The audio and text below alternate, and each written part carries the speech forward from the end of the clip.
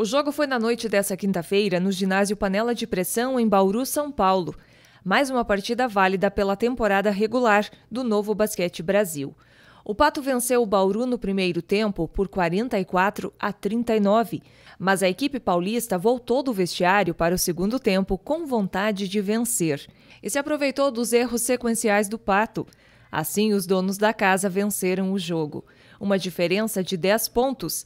Bauru, 84, Pato, 74. O próximo compromisso do Pato é neste sábado, às 18 horas, contra o Pinheiros, em São Paulo. Depois disso, o Pato Basquete fará duas partidas em casa. No dia 6, recebe o União Corinthians. No dia 8, o Caxias, no ginásio do SESI.